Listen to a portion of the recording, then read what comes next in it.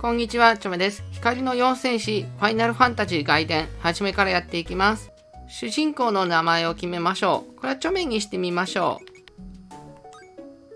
決定しました。全員名前決める感じか。この子何にしよう。お任せだったら、ジェスカになりました。お任せだったら、ユニータになりました。女の子ね。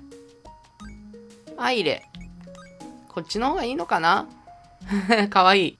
主人公だけチョメにしてなんか変な感じになるけどね。主人公の本当の名前って何なんだろう。私今チョメって呼ばれてるけど。あと今回縦画面にしてます。チョメったら。ほら、寝ぼけてるんじゃないよ。とっとと起きて用意をし。はい。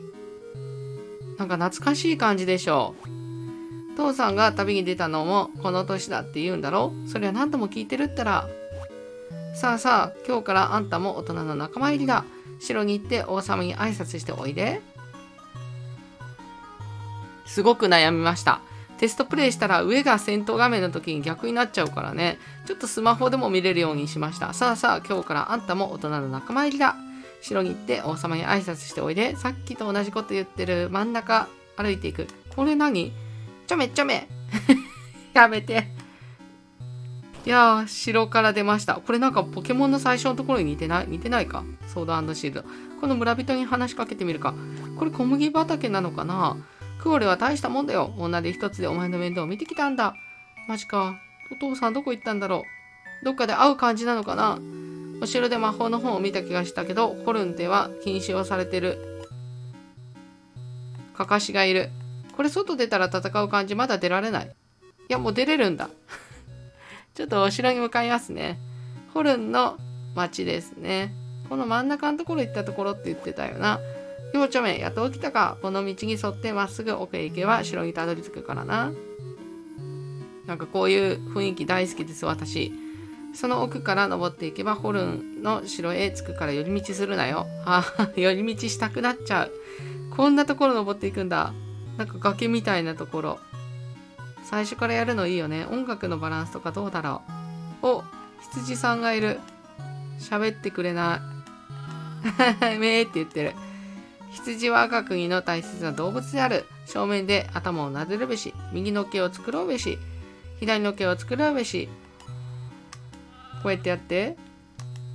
ああ、こっち向くじゃん。こうやってやって、ちゃんとやってるんだけど。ダメだ、ダメだ。え、なくなっちゃったんだけど、城が。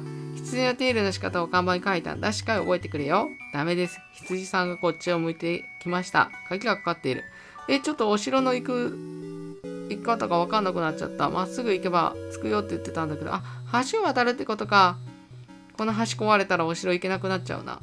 で、こっちの方に行くと。すごいところにあるな、ほんと。山の上だね。おお、兵士たちがいる。話しかけてみよう。王様に会いに来たっていいな、ちょめ。くれぐれも失礼のないようにな。ここも私の名前知ってる。ここどうやって暮らしてるんだろう。うわ、ホルンの城。少し前に死因が入団したんだ。入ったばかりだってのにすぐに出兵して大丈夫かなそのことなんかどっか行く感じなくな。A ピースの街、行動力を貯めるのがバトルの極意だぞ。アドバイスもしてくれてる。このゲーム実況したかったんですよね。ちょっと単発でやってテストで投稿してどうするか決めますね。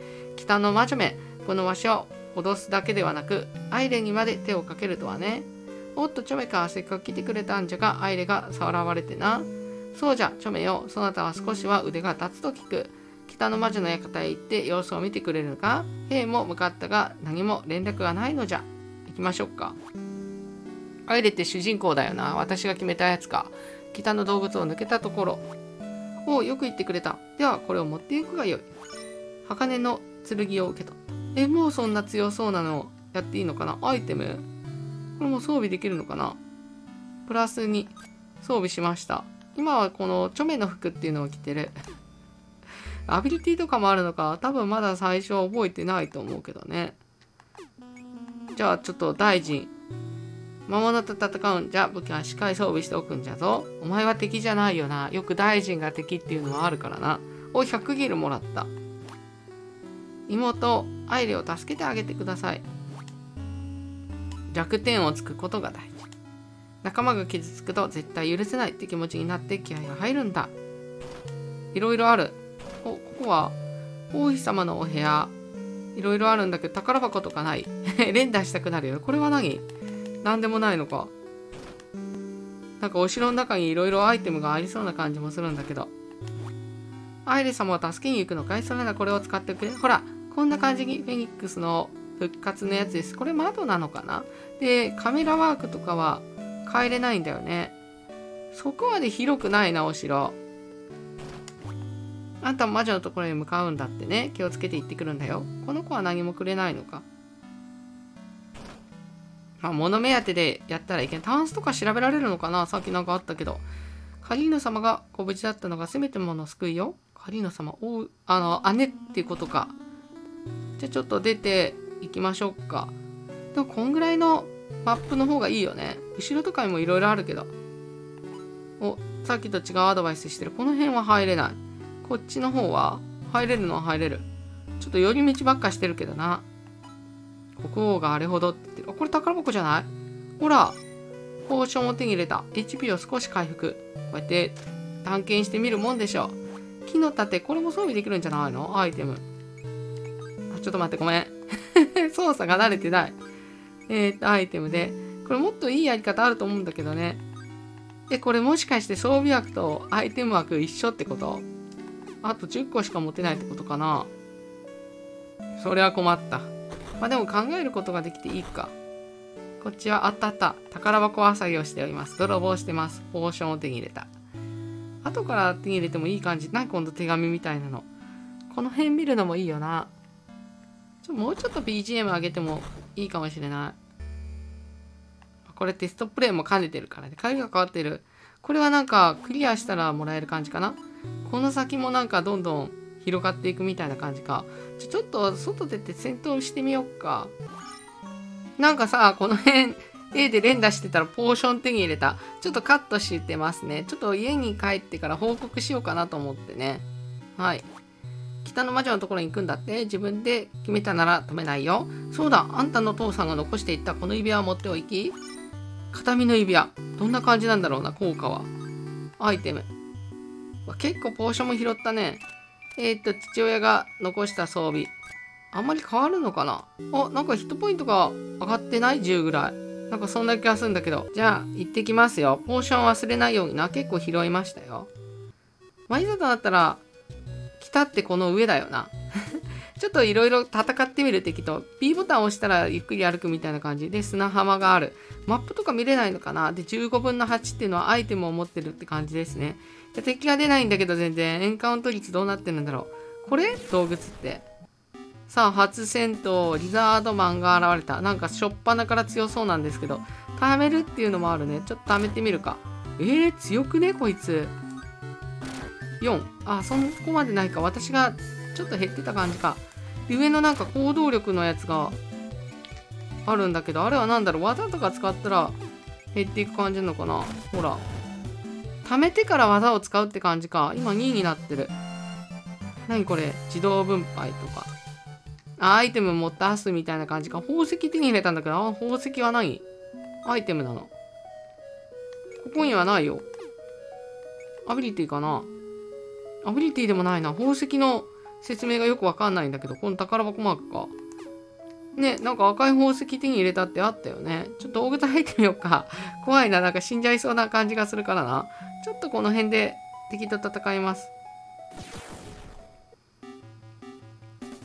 ゴブリンが現れたよ。2ダメージ。さっきよ弱いね、2匹だけど。おお、クリティカルも出るんだ。これ貯めるってやったら次のやつ引き継がれるのかなねほら宝石。ルビーだってこれは何なんだ？ちょっと村に戻ってきました。戦闘もしたし今日はこのホルンの村いろいろ聞いて回ろうと思う。メニューのアイテムで武器はちゃんと装備したかいこうやってチュートリアル的なことを教えてもらうっていうのも大事だと思ったからちょっと戻ってきた。宝石がわかんないから使い道が。宿屋で休めば行動力つまり AP も一気に回復さ。AP の仕組みもよく分かってないんだよね。AP2 ってなってるけど。今後多分アビリティとかで重要になってくるんだと思うけど。で、右の方はいた。これは何だろう？若者同士。私は世界を旅するただの冒険家。そこの狐は iPod、これブレイブリーデフォルトにもいなかった？もし君がセーブしたいというなら私に話しかけるといいだろう。早速セーブする。後輩セーブしましょう。あ、初めてセーブした。切らなくてよかった。ここでセーブするのか、どこでやるのかって思ってたんだよね。この冒険者でセーブするみたいですね。さあ、ちょっと、買ってくれるか。ちょっと売りたいんだけど、宝石売れる。2個、50ゴールド。だからこんな感じで2個で100ゴールドとか、死んでも大丈夫みたいな感じか。だから半分とかお金が多分なくなるんだと思うんだよね。全滅したことないけどね、まだ。ポーションは20ゴールド。松明とかなんか、今後いりそうな感じがするね。これはキメラの翼みたいな感じか。ホルンの弓。ありがとうございましたって言ってくれた。この人は魔物から宝石が取れたら売ってお金にするんだよ。ありがとう。教えてくれた。うん、ずっと知りたかったからね。今日のタイトルはこのホルンの村です。魔物と戦うならメニューのアイテムでしっかり武器を装備していくんだよ。犬。で、この辺とか絵をしてたらなんか手に入るんじゃない？ここには何も落ちてないか。さっきポーション拾ったんだけどね。あ、左も行けた。あ、左は出るんだ。あ、でも、もう左出やすいような感じでやってくれてるっていうのはいいよね。こんな感じで。北の洞穴行くだったら松明を持っていかないと教えてくれてありがとう。事前に準備ができる。魔物を倒すことは弱点属性で攻撃をすればいいんだけど、魔法でも使えないと無理だよな。多分使えるやつが出てくるんだろうな、今後。宿屋、泊まり引退、10ゴールド。ちょっと止まっとこう。14しかないからね、HP。みんな回復するっていうのがいいよね。ゆっくりおやすみなさい。上から復活した。夜なのかな、これ。なんかいいな、この演出も。ちゃんとあるじゃん、みんなのベッドが。この2段ベッドとか、今1人だから左上みたいな感じになっちゃったのかな。どうなんだろうね。夜まで休んでいくとか。この人も話しかけたよな。意味屋のやつ。で、上、宝箱屋さんみたいな感じになってる。これは何だ？持ちきれなくなったアイテムを預かっておく。あ、ここで預けるってできるんだ。へえ、ポーション1個預けとこっか。で、フェニックスのは、まあ仲間がおったら大事だからこんな感じか。これは便利かな ?15 個しか持ってないからしっかり考えて持っていくのよ。こういう昔のゲームいいね。最近のゲーム便利すぎだからな。袋とかさ、そういうのばっかりとか。アイテムは15個しかないから装備とポーション、それに松明は必要ね。松明持っていきます。さっきからすごく言われてるからな。それで忘れてたら最悪だ。巨大な牛の化け物を見たことがあるの。まずはちょっとね、レベル上げたい。あの、1だから、魔物を倒すと宝石が取れることがあるのよね。さあ、右上。ここはどこだ？寄り道楽しい。実況長くなっちゃうけど。わしも昔は城の兵士でな。あの頃はまだ。え、また根性だっちょ？アンテナが5個立ってるこれなんだ。通信プレイで遊べるんだ。へえ。何これセーブしてワイヤレス通信を開始します。あの、みんな持ってないか？Wi-Fi じゃないからか。交換するアイテム、インフェルノ。え？強くない ?5400 とか。どうなんだろう？バトル中心でも1回だけ HP1 で耐えるとか。経験値2倍。これ欲しいな、グローエッグ。うわ、いいな、この景品。だからみんなで通信で始めたら結構いい景品とかがもう手に入るのかもしれないね。じゃあ右の方を見ていくか。女の子。たまに魔物から取れる宝石にはすごい力があるんだって。占いで取っとくっていうのもいいのかな。ホルンが作物が豊かな国になったのは魔法禁止してるからなのよ。そうなんだ。右。魔物を倒すと気合が入るんだよな。こう、ブワーって。どんな感じなんだろう。まだやったことないな。AP の仕組みまだ全然教えてもらって、この街に隠したお宝全部見つけられるかな ?1 個は見つけたんだけどね。拾ったみたいな感じだけど。で、これで以上かなこうやって A 連打してたら見つかるって感じなのかなじゃちょっと洞窟入ってみるか。多分こっちの右上の洞窟のこと言ってると思うんだよね。レベル1だけど。北の洞窟。あ、何回も言われてたけど、松明忘れましたわ。ただね、これ、変な現象が起きてる。3DS 見たら、見えないんだよ。ただ OBS 見たら、見えるという松明が。これどうやって伝えればいいんだろうすごいな。あ、次回ここやっていこうと思う。松明なしでも OBS 見てたらいけるんじゃん。敵が出た。どんな感じ？多分松明使っても今映ってる感じと同じになってると思うんだけどね。いや、裏技ですわ、これある意味。あと、夕方とかにもなるね、こんな感じで。